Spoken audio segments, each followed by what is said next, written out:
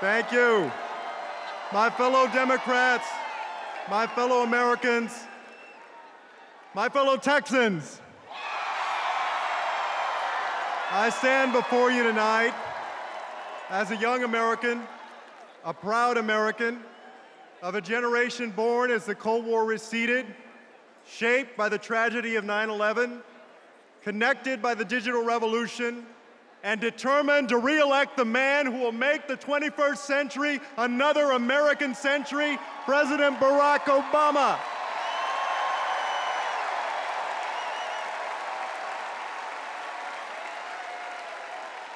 The unlikely journey that brought me here tonight began many miles from this podium. My brother Joaquin and I grew up with my mother, Rosie, and my grandmother, Victoria. My grandmother was an orphan as a young girl, she had to leave her home in Mexico and move to San Antonio, where some relatives had agreed to take her in.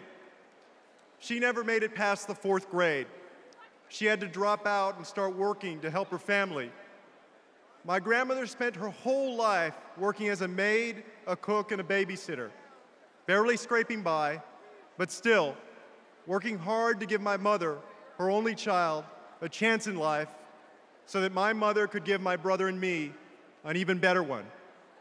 As my grandmother got older, she begged my mother to give her grandchildren.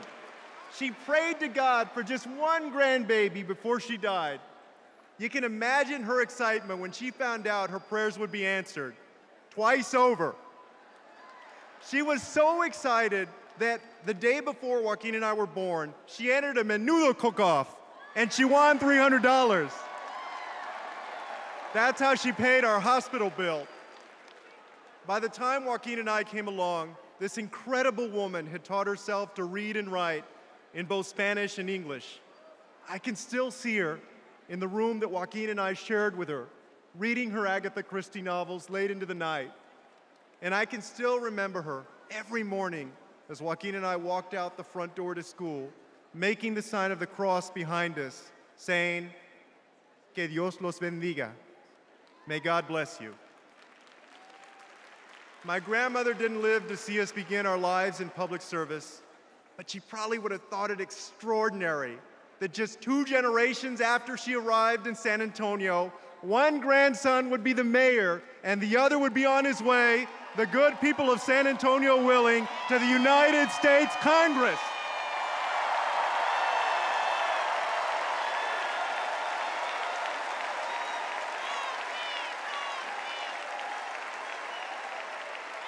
My family's story isn't special. What's special is the America that makes our story possible. Ours is a nation like no other, a place where great journeys can be made in a single generation. No matter who you are or where you come from, the path is always forward. America didn't become the land of opportunity by accident. My grandmother's generation and generations before always saw beyond the horizons of their own lives and their own circumstances. They believed that opportunity created today would lead to prosperity tomorrow. That's the country they envisioned, and that's the country they helped build. The roads and bridges they built, the schools and universities they created, the rights they fought for and won, these open the doors to a decent job, a secure retirement, the chance for your children to do better than you did. And that's the middle class, the engine of our economic growth. With hard work, everybody ought to be able to get there. And with hard work, everybody ought to be able to stay there and go beyond.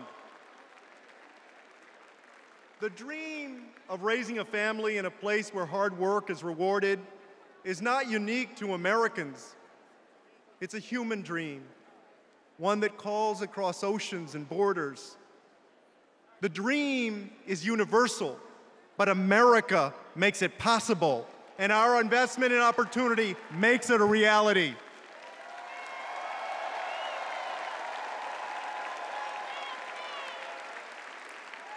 Now, in Texas, we believe in the rugged individual. Texas may be the one place where people actually still have bootstraps. And we, we expect folks to pull themselves up by him. But we also recognize that there are some things we can't do alone. We have to come together and invest in opportunity today for prosperity tomorrow.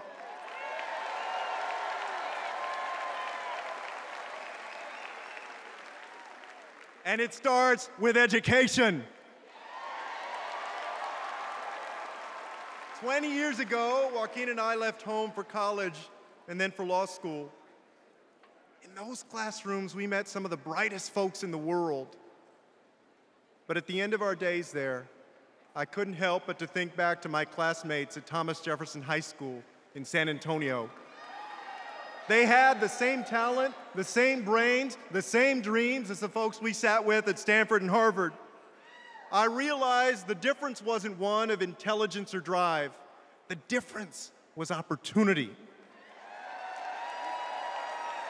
In my city of San Antonio, we get that. So we're working to ensure that more four year olds have access to pre K.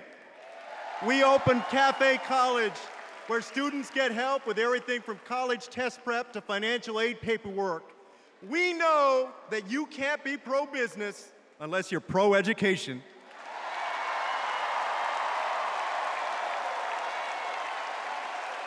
We know that pre K and student loans aren't charity. They're a smart investment in a workforce that can fill and create the jobs of tomorrow. We're investing in young minds today to be competitive in the global economy tomorrow. And it's paying off. Last year, the Milken Institute ranked San Antonio as the nation's top performing local economy, and we're only getting started. Opportunity today, prosperity tomorrow.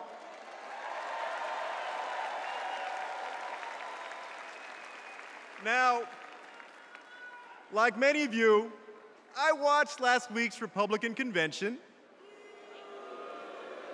And and they told a few stories of individual success. We all celebrate individual success. But the question is how do we multiply that success? The answer is President Barack Obama.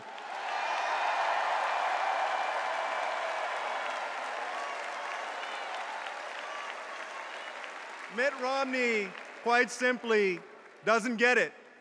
A few months ago, he visited a university in Ohio and gave students there a little entrepreneurial advice. Start a business, he said. But how? Borrow money if you have to from your parents, he told them. Gee, why didn't I think of that?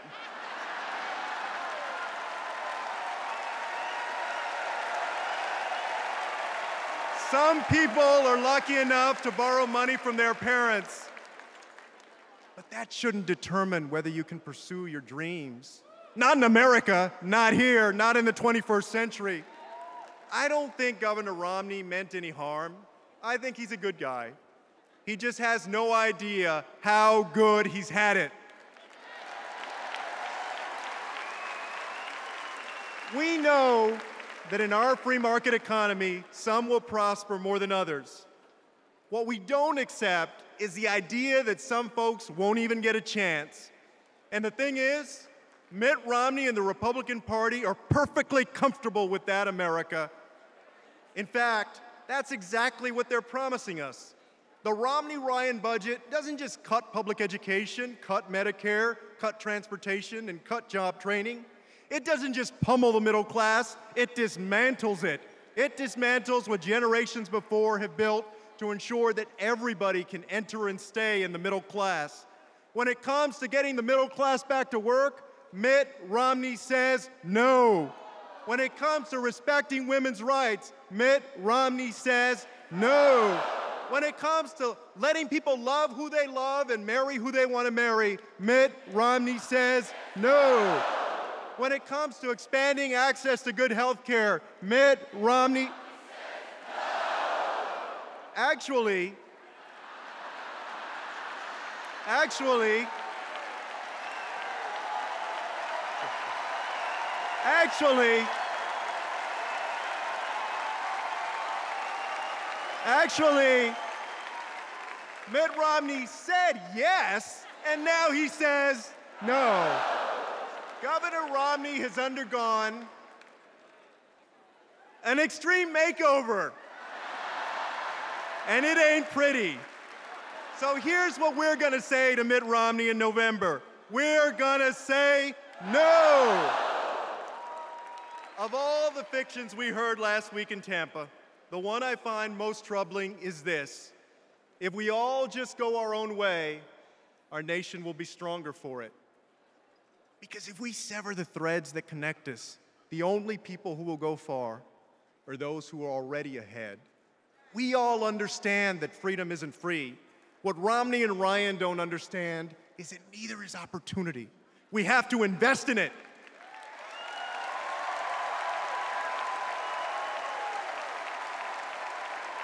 Republicans tell us that if the most prosperous among us do even better, that somehow the rest of us will too. Folks, we've heard that before. First, they called it trickle down. Then they called it supply side. Now it's Ryan Romney Ryan, or is it Ryan Romney? Either way, their theory's been tested. It failed. Our economy failed. The middle class paid the price. Your family paid the price. Mitt Romney just doesn't get it.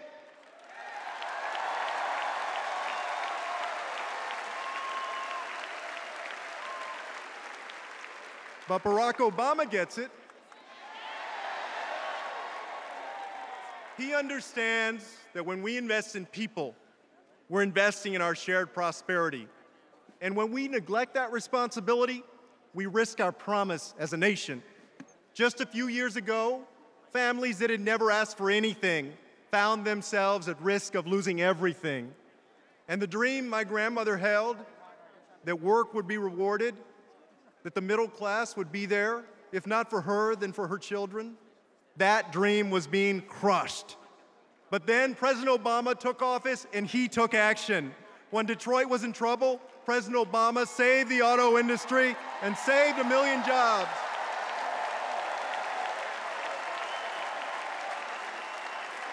Seven presidents before him, Republicans and Democrats, tried to expand health care to all Americans. President Obama got it done. He made a historic investment to lift our nation's public schools and expanded Pell Grants so that more young people can afford college. And because he knows that we don't have an ounce of talent to waste, the president took action to lift the shadow of deportation from a generation of young, law abiding immigrants called dreamers.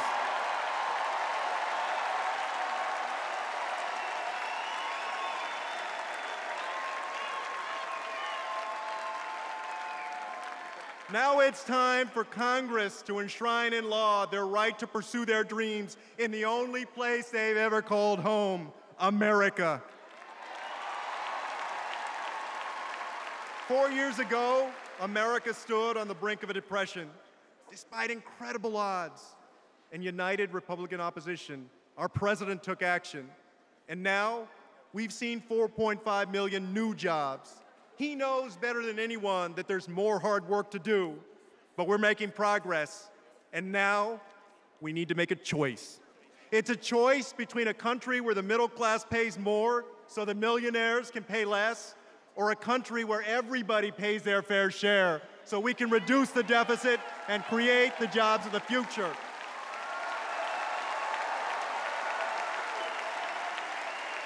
It's a choice between a nation that slashes funding for our schools and guts Pell Grants or a nation that invests more in education. And it's a choice between a politician who rewards companies that ship American jobs overseas or a leader who brings jobs back home. This is the choice before us. And to me, to my generation, and for all the generations to come, our choice is clear. Our choice is a man who's always chosen us, a man who already is our president, Barack Obama.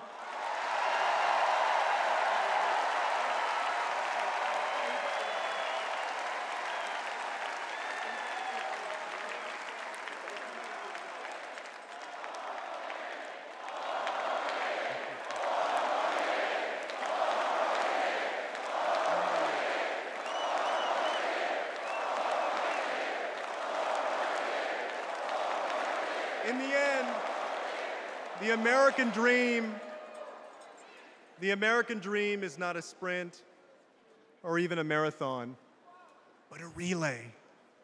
Our families don't always cross the finish line in the span of one generation, but each generation passes on to the next the fruits of their labor. My grandmother never owned a house. She cleaned other people's houses so she could afford to rent her own. But she saw her daughter become the first in her family to graduate from college. And my mother fought hard for civil rights so that instead of a mop, I could hold this microphone.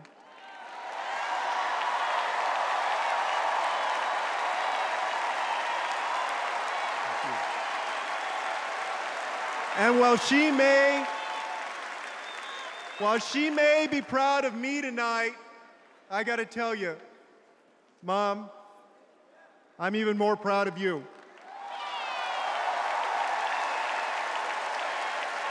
Thank you. Today,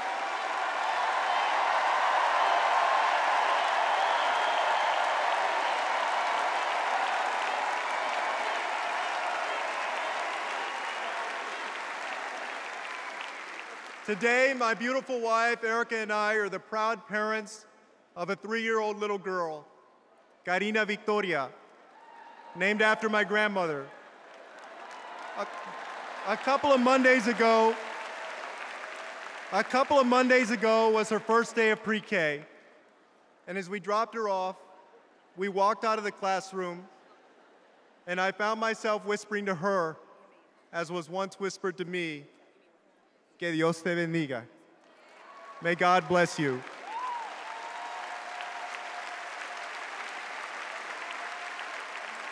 She's still young and her dreams are far off yet, but I hope she'll reach them. As a dad, I'm going to do my part, and I know she'll do hers. But our responsibility as a nation is to come together and do our part as one community one United States of America to ensure opportunity for all of our children. The days we live in are not easy ones, but we have seen days like this before, and America prevailed. With the wisdom of our founders and the values of our families, America prevailed. With each generation going further than the last, America prevailed.